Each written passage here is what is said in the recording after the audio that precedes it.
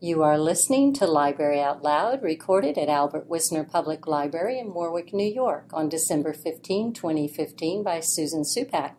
We're talking today with scientists Dr. Charles Holmes and Dr. William Makofske about the life and discoveries of the famous Albert Einstein.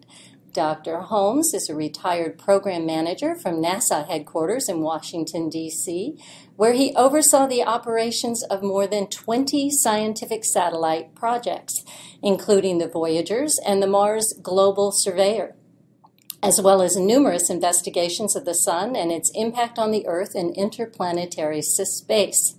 He recently completed a four year term as the vice chair of NASA's IT Infrastructure Advisory Committee, which provided feedback to NASA on its vast collection of computers, software, and data networks.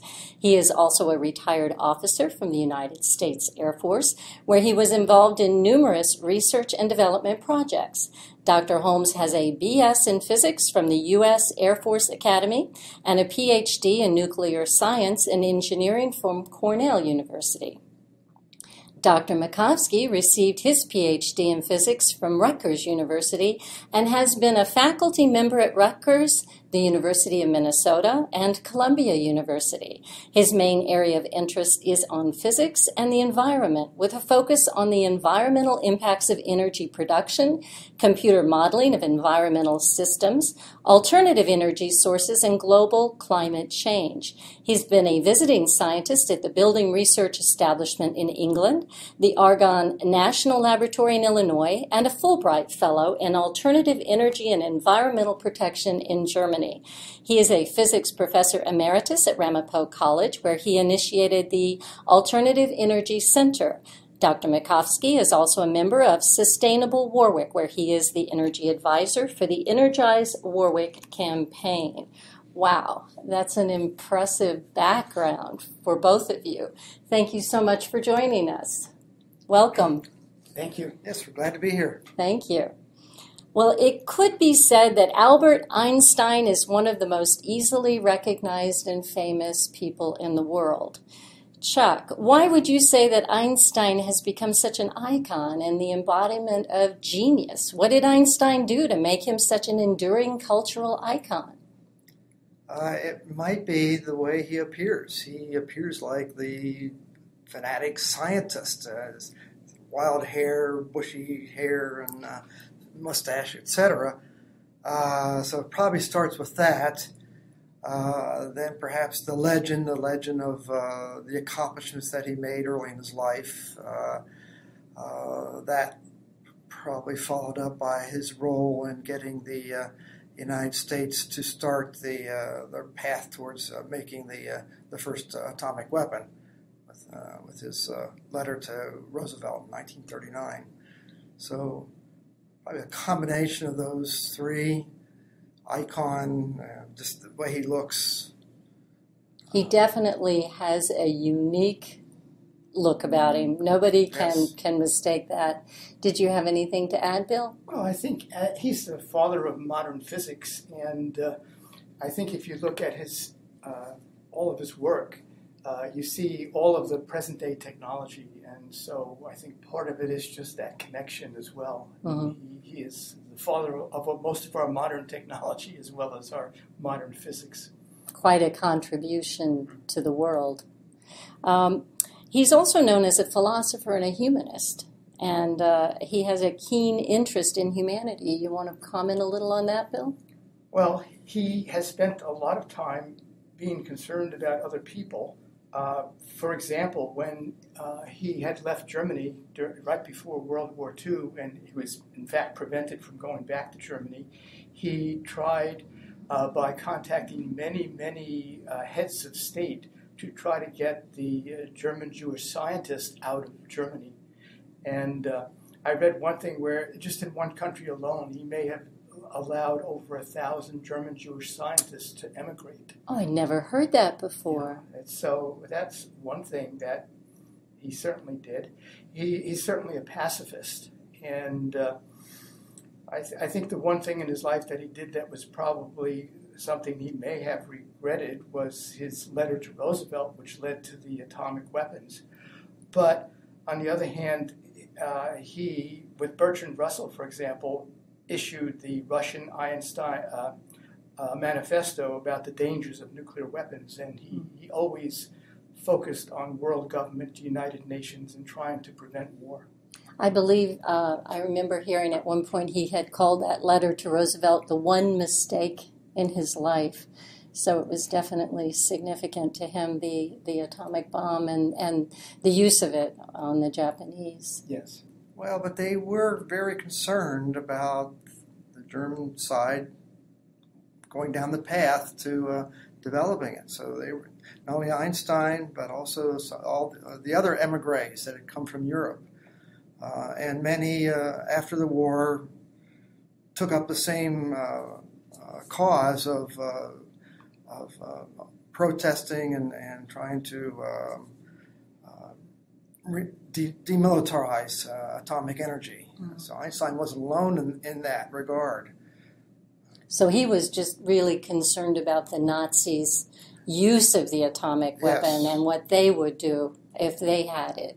Yes, so, the, all, all, the emigres, uh, particularly the ones that came through Germany, uh, were very concerned because they're their colleagues that were left behind that uh, they knew had, uh, or at least they uh, supposed had, uh, the same technical information about how to go down the path for for atomic weapons. I suppose his interest in humanity and the world is reflected in the fact that he had three citizenships, did he not? He was German, he was Swiss, he was U.S., wasn't he? Israeli too, I believe. Oh, was he? All right. Because he was uh, he was one of the early Zionists back in the 1920s, uh, trying to f- work the international system to develop the homeland for for the uh, the Jews in Palestine, uh, and is reported that after um, Chaim Weizmann died, the first president of, hmm. of Israel, uh, that Einstein was offered the position of the presidency of Israel, which is more of a, uh, a ceremonial position, but still an important position. He, he uh, at that time declined. He was in his obviously late fifties, or late, you know, he was it was in the early fifties when it when it happened. People loved him, as I understand. Oh, yeah. People swarmed around him when he came somewhere. They and he loved to talk about his theories. Wow. I should point out that his first uh, switch of citizenship was actually when he was he didn't want to be drafted, and that's why he made the first uh, switch to the Swiss citizenship. So um, uh, obviously, after he came to the United States for quite a while, he decided to stay here and become a citizen. We touched on Einstein's influence on uh, life today. Uh, can you talk a little bit about that? How his theories have affected the way we live today? Um, early in my research career, uh, once I left Cornell, I was at an Air Force research lab. I was working on uh, high energy lasers, and in particular, uh, how one pumps energy into uh, into gases and then uh, gets laser energy out. Uh, so I was working on some computer computer models, and a very key part of those computer computer models uh, was something called the Einstein coefficients, which told how a gas or, or a solid would absorb light energy, how it would emit light energy, and particularly a third component, how light would stimulate emission of, of uh, more light out of uh, uh, uh, atoms and molecules that had that were excited, and so in, in a way, Einstein is the father of the laser, and you, if you look through the, through the literature, you never see that talked about. I don't think I've ever read that but, anywhere. But he wrote a paper in 1917 outlining the, this uh, this phenomena and, and giving uh, equations for these uh, uh, coefficients of absorption, emission, and stimulated emission, which I was using. Uh, so uh, he is uh, his his career is full of these little sidelights besides relativity mm-hmm. and things like that, that that he contributed to. Yeah, I think uh, in addition to, to relativity, I mean, I, I, was amazed. I didn't know that he had done so much work in, in solid state physics. And so, uh, and statistical physics. I knew about the Bose-Einstein uh, Right. statistics, but even beyond that, he had done a lot. And so, if you look at almost every area of modern physics, you find that he has made some contribution, sometimes the, a foundational contribution to it. Would be a re- big reason why I suppose Time magazine named him the person of the century. In 1999. I mean, he, he did have an incredible effect. Uh, one of the just sidelines I have to say, since this is the week for the release of the new Star Wars film, is that I understand that Yoda was influenced by Einstein because uh, the the maker had his eyes look like Einstein. Have you ever heard that before? Uh, no, I haven't. I I hadn't heard, I had heard things like that, that the, Yoda was modeled uh, loosely after, after Einstein's uh, countenance. Yeah. So on, on a on a slightly different track, when you were both uh, a part of a program here at the library, which was very interesting, commemorating the hundredth anniversary of Albert Einstein's general theory of relativity, or is it the theory of general relativity? Which is it? Theory of general relativity. Thank you very much. Um, we watched a film, a PBS film called Einstein's Big Idea, which was excellent and very informative. And Chuck, you mentioned that it was important for people to notice the role of women in science. You want to just speak a little bit about that? Well, the the uh, the production's a Nova production, PBS Nova production, and it's very well done and had many historical sketches of contributions of scientists leading up to uh, Einstein's development of the equation E equals mc squared.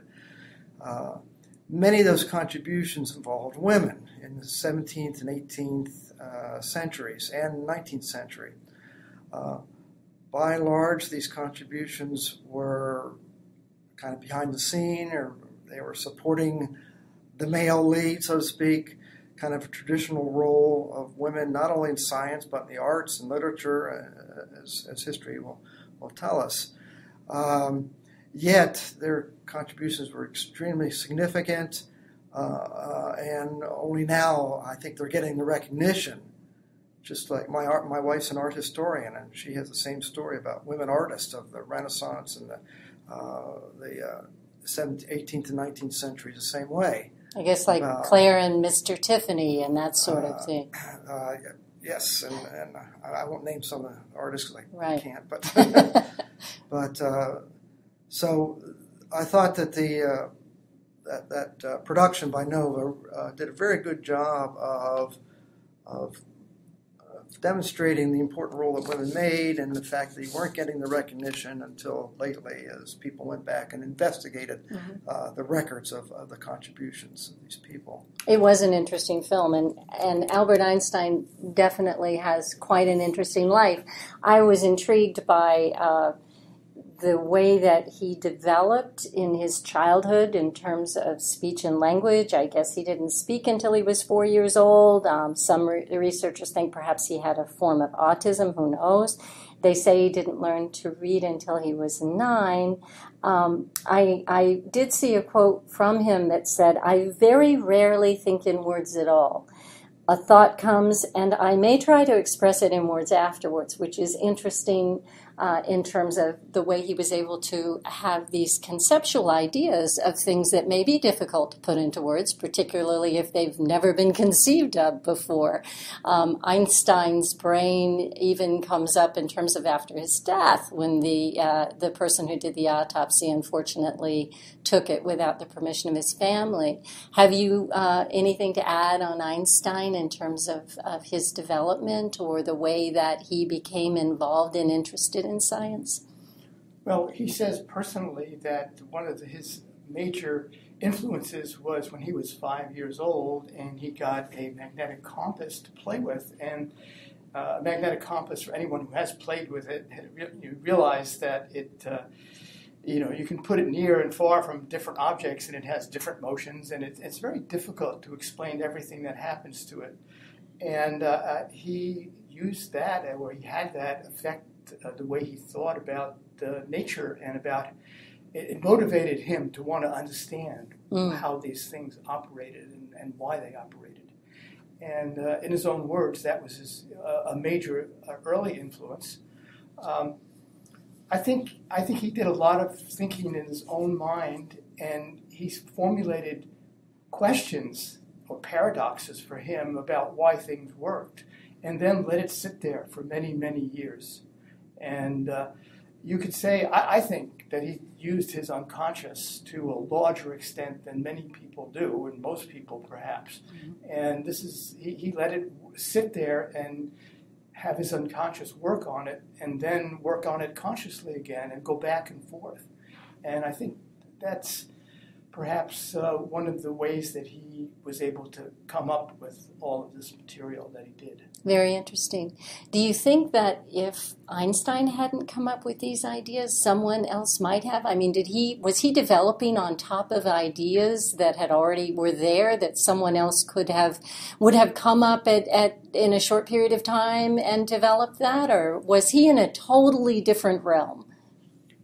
Um, no, he was. Uh, he was at the right place at the right time, and he, uh, just like all people that make uh, significant accomplishments, they have to, they do these accomplishments on top of the work of those before them.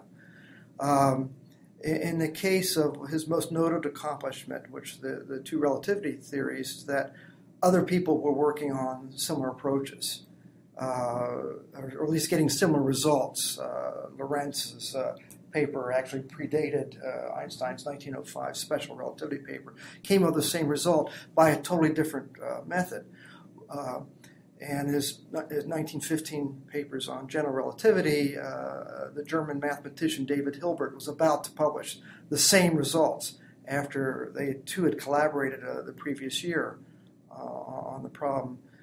Um, what, what Einstein's uniqueness, uh, what he brought, which is different, was his ability to perform what were called thought experiments.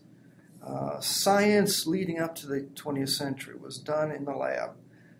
Uh, it was done uh, with, with, equipment and careful measurements and collecting lots of data. And then once you've collected it, uh, what does that mean? What what equation can I come up to explain the data that has been measured? Um, and there was theory on top of that, but I was mainly collecting these equations and trying to uh, make some uh, common sense.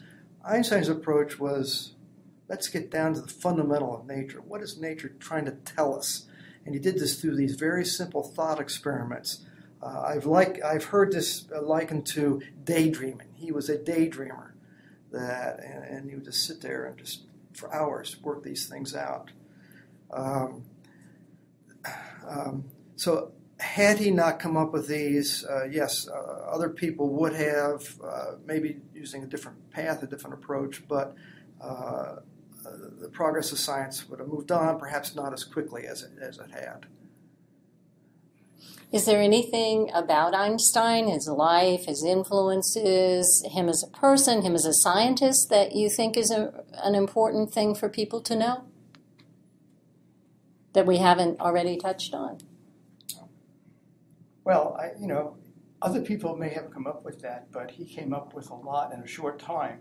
And, and, and what he came up with was uh, it's like the paradigm uh, shift, because uh, just like Copernicus had, had the view that uh, the uh, uh, we were revolving around the sun, his views on how these things came together and were explained were completely different from what existed before. So uh, he had a major break with the business as usual. I mean, most scientists were trying to put together little pieces to, ex- to explain uh, nagging difficulties while he was looking at it and looking at this. It's a whole new philosophy, a whole new uh, theory. And in that sense, uh, he was the first to do it. Right, right.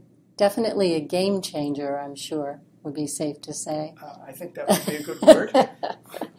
so now I'm going to read a quote from Einstein, and, and in this, I'd just like you to think about you know, has has Einstein had an influence on your lives as scientists, or uh, or perhaps on you personally? He he is quoted as saying that most people say that it is the intellect which makes a great scientist. They're wrong. It's character beautiful quote. I just a great quote from a great man, and I just uh, you know on that thought wonder if you have something to add about Einstein and his effect on yourselves.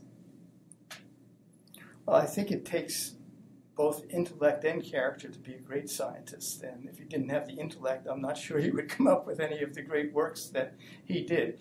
So I don't think it's an either or proposition in terms of its you know intellect or character. I, I think it's a combination. The character that he may be referring to, if understanding his life, he's always emphasized the importance of striving, of working hard, and and you know doing something, whether or not you succeed. And he's had a number of quotes specifically in that area. And so I'm wondering if he's thinking the character here is the fact that you don't give up, you keep working at it, even if you don't succeed in understanding something at first, uh, you know, you keep working on it until you hopefully come up with something, but you may not always succeed. And uh, I think that's a good thing for everybody, not Absolutely. just scientists, in Right. terms of thinking about their lives and thinking about what, you know, how to approach life. And uh, so, in that sense, I think it's a very wonderful quote.